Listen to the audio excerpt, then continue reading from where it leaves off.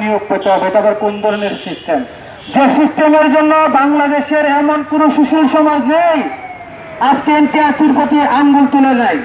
সকল সুশীল সমাজ এনটিআরসির প্রতি আঙ্গুল তুলেছে। যেটা আমাদের কষ্ট, কারণ আমাদের প্রাণের আমাদের প্রাণের প্রতিষ্ঠান এনটিআরসি আমরা সেই এনটিআরসির পক্ষে, আমরা এনটিআরসির অধীনে আমরা নিবন্ধিত পরীক্ষা দিয়েছিলাম।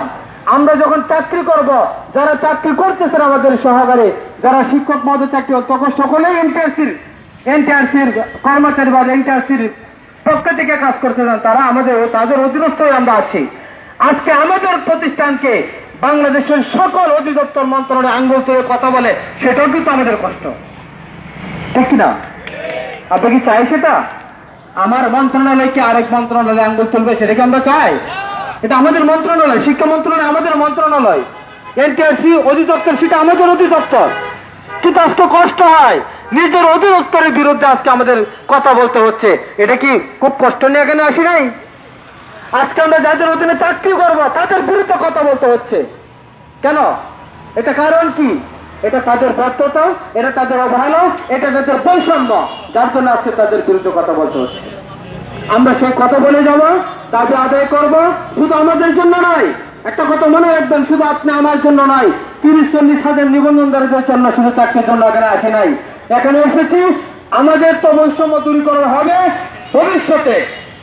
ভবিষ্যতে যত সার্কুলার আসবে, এরকম যেন কোনো ছাত্র বা কোনো শিক্ষক যেন আর এই বৈষম্যের শিকার না হতে সেটাও ব্যবস্থা করা হবে ইনশাল্লাহ এ পর্যায়ে আমি আলোচনা করার জন্য বিনীতভাবে অনুরোধ করছি।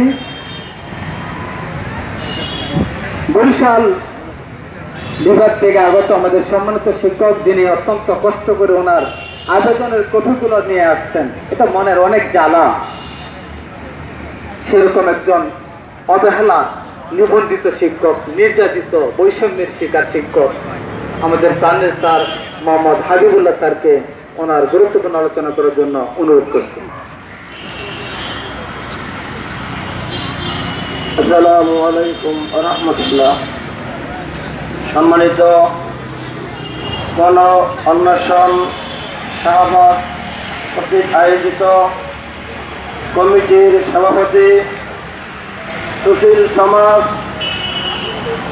আমার সহকর্মী সাথে সংগ্রামী শিক্ষক মাদায়রা সকলে আমার আন্তরিক সালাম গ্রহণ করুন। আসসালামু আলাইকুম রহমতুল্লাহ।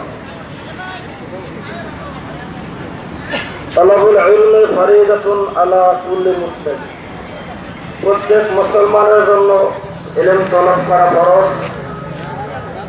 শিক্ষক সমাজ সুশীল সমাজ। আজ আমরা আমাদের অধিকার থেকে বঞ্চিত বিদায় আমরা আজকে পৃথিবীর অক্সফোর্ড ঢাকা ইউনিভার্সিটির সেই শাহবাগ কিন্তু আমরা অনশন কর্মসূচির আজকে তেত্রিশতম দিন। কিন্তু দুঃখের বিষয় হলো বলতে হয়